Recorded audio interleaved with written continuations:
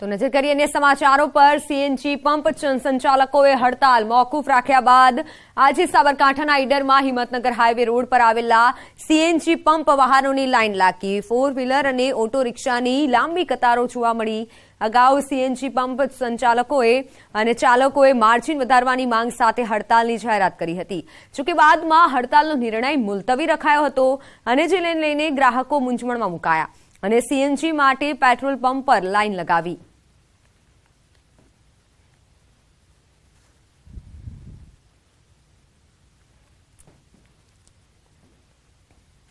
રાજ્યમાં કુપોષણને લઈને કોંગ્રેસ નેતા જિજ્ઞેશ મેવાણીએ સરકાર પર પ્રહાર કર્યા છે.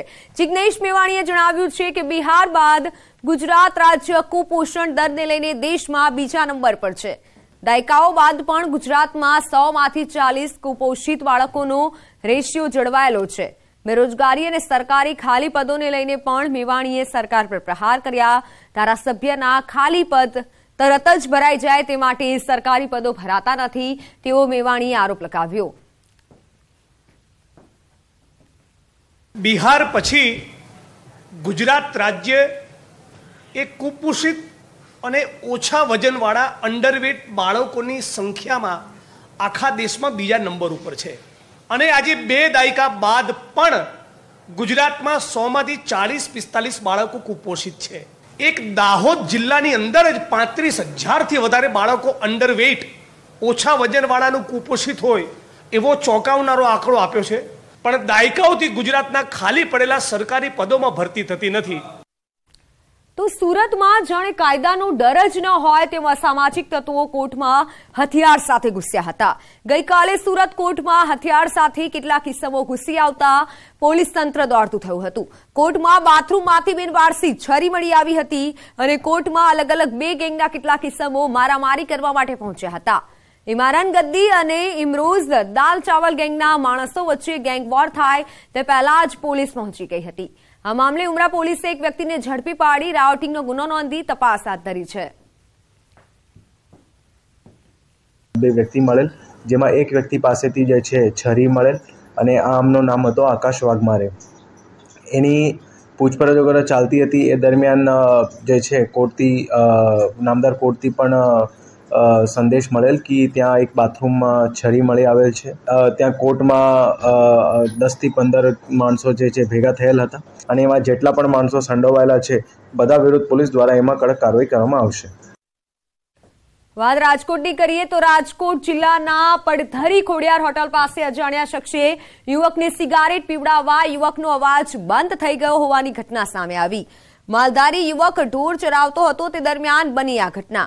અજાણ્યા શખ્સે આપેલી સિગારેટ પીતા યુવકનો અવાજ બંધ થઈ ગયા હોવાનું પરિવારજનોનો દાવો છે.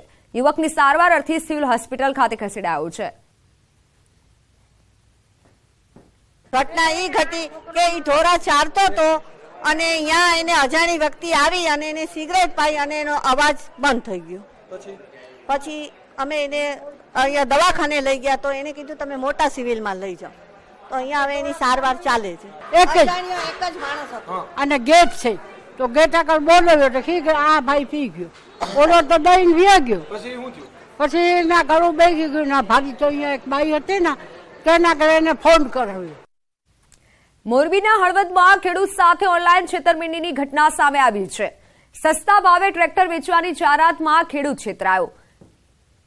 છેતરબાજ પોતે આર્મી ઓફિસર છે અને તેને ટ્રેક્ટર વહેંચવું છે તેવું કહી અને ખેડૂતને સસ્તા ભાવે ટ્રેક્ટર લેવા લલચાવ્યો. ત્યારબાદ માધવભાઈ પરમાર નામના ખેડૂત પાસેથી કટકે કટકે એક લાખ અગિયાર હજાર જેટલી રકમ ઓનલાઈન ટ્રાન્સફર કરાવી લીધી. તેણે ઇન્દોર આર્મી કેમ્પનું એડ્રેસ અને પોતાનું નકલી આધાર કાર્ડ પણ મોકલ્યું. આમ છેતરબાજે ઇન્ડિયન આર્મીના નામે ખેડૂતને લાખો રૂપિયાનો ચૂનો લગાવ્યો. ત્યારબાદ ટ્રેક્ટર ન મળતા ખેડૂતે અળવદ પોલીસ મથકે ફરિયાદ નોંધાવી છે. જે મામલે પોલીસે કાયદેસરની કાર્યવાહી પણ હાથ ધરી છે.